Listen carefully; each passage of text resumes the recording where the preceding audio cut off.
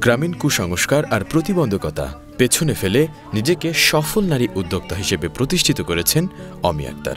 কেবল সফল স্ত্রী বা মা নন, তীব্র ইচ্ছাশক্তি আর কঠোর পরিশ্রম করে নিজ পরিচয়ে অমি এখন পঞ্চগড়ের অন্যতম সফল নারী উদ্যোক্তা হিসেবে বেশ পরিচিতি লাভ করেছেন। দেশের সীমান্তবর্তী জেলা পঞ্চগড়ের তেঁতুলিয়া উপজেলার বাসিন্দা অমি আক্তার। সরকারি চাকরি হওয়ার পরও স্বামীর ইচ্ছায় চাকরিতে যোগদান করেননি। গ্রাম এলাকায় সেখানে এই ব্যবসা চলবে, এটা করতে পারি নাই। সেগুলো আমি পারব, আমি হবে। আশেপাশে মহিলাগুলো আছে, পাশে আমার হাই স্কুল এবং কলেজ ছিল। হ্যাঁ সুবাদে অনেকে তাকে উৎসাহ দিত। আমিও সর্বশেষে তাকে উৎসাহ দিয়ে সে যখন মাল নিয়ে আসে, প্রথম পঁচিশ তিরিশ হাজার মাল নিয়ে আসে, তিরিশ পঁচিশ হাজার মাল আনার পর যে সে বিক্রি করে, সে খুব উৎসাহ পায়। স্বামী বদ্রজোহা ও একমাত্র মেয়ে স্নেহাকে নিয়ে বসবাস করেন উপজেলার ভোজনপুর এলাকায়। চাকরি করতে না পারলেও অমি আক্তারের প্রবল ইচ্ছা ছিল নিজে কিছু করবেন, পাশাপাশি অন্য নারীদের দেখাবেন উদ্যোক্তা হওয়ার পথ। অনেক কষ্ট করে স্বাবলম্বী হওয়ার পরে আমার মনে হয়েছিল যে আমার আশেপাশে অনেকেই আছে যে তারা বাড়ি থেকে বের হতে পারে না, কিন্তু তাদের সংসার চালাতে অনেক অসুবিধা। তারা আমার কাজটা করলে তারাও স্বাবলম্বী কিছুটা হতে পারবে, আমিও কিছুটা হতে পারব। এক্ষেত্রে আমি পঁচিশ জন মেয়েকে পঁচিশ জন মেয়েকে কাজ কাজ শুরু করালাম। নকশি কাঁথা, বিছানা, চাদর, হাতের কাজের শিল্প যেটা। হ্যাঁ আপনার পাঞ্জাবিতে কাজ, গাউনে কাজ থ্রি পিস নকশি sari table dinner set cushion cover set এগুলো তাদের কাছে আমি তৈরি করে নেওয়া শুরু করলাম। তারাও আজকে ঘরে বসে আমার উসিলায় তারা কিছু একটা করতে পারতেছে।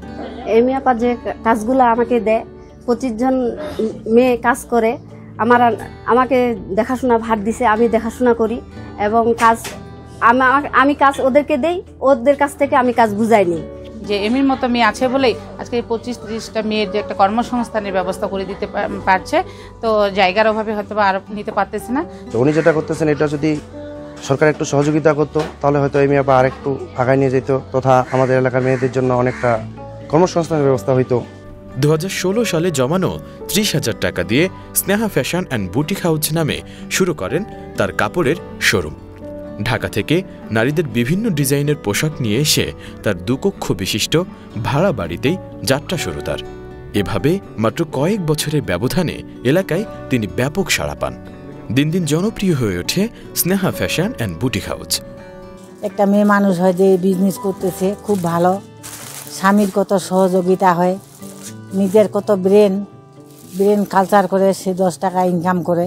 একজন নারী হয়ে ইনি বাসায় বসে এমন সুন্দর একটা কাজ করতেছে আমরা কাপড় চোপড় কেনাকাটা করতে পারতেছি আরামের সহিত আসতে পারতেছি এবং ইনার একটা কুটির শিল্প আছে যেখানে উনি কিছু মহিলাদের কাজ করাচ্ছে যেটা ধরো যে অনেক মান, মেয়ে মানুষ যারা হচ্ছে সম্মানের সহিত বাসায় বসে কাজ করতেছে, কিছু আয় করে সেটা তারা নিজেদের পরিবারে অবদান রাখতে পারতেছে।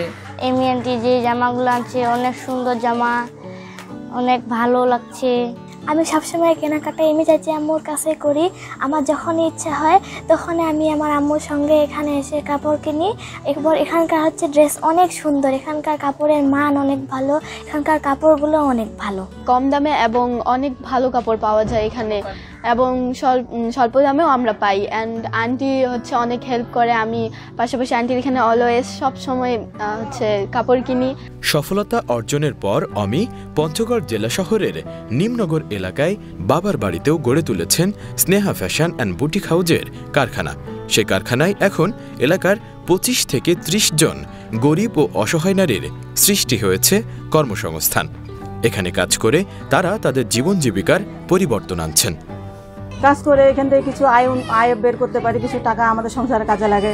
সংসার অনেক আয় উন্নতি করতে পারি এইখান থেকে টাকা পেয়ে আর কি, উন্নতি করতে পারি। বাসায় সমস্যা, এখন এই যে এমি আপু যে মানে কিয়াটা দিছে, এটাতে আমরা অনেক মানে আগিয়ে গেছি। করোনাকালীন আমাদের স্কুল বন্ধ থাকে। আমি পড়ালেখা করি, পড়ালেখার ফাঁকে যখন সময় পাই, কারখানায় এসে আমি কাজ করি। আমরা যে অবসর সময়টা কাটাইতাম সেটা টিভি দেখে অথবা গল্প গুজব করে কাটতো। এখন কাজে কাটতেছে সেটা আমাদের জন্য খুব ভালো একটা কারণ। যে টাকা আমরা ইনকাম করি সেটা আমরা সংসারের জন্য ব্যয় করতে পারি।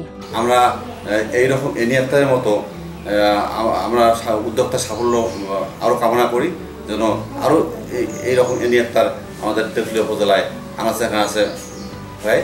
এবং এই যে গরিব অসহায় যে আমাদের শিক্ষিত নারীরা তারা নিজে উদ্যোক্তা হয়ে যেন হতে পারে, এটা আমার মূলত আমাদের টার্গেট উপজেলা প্রশাসন নারীদের উদ্যোক্তা হিসেবে তৈরি করার জন্য ইতিমধ্যে বিভিন্ন ধরনের প্রশিক্ষণের ব্যবস্থা গ্রহণ করেছে। এর মধ্যে আমরা সাত দিন ব্যাপী নকশিকাতা তৈরির একটি প্রশিক্ষণের আয়োজন করেছি।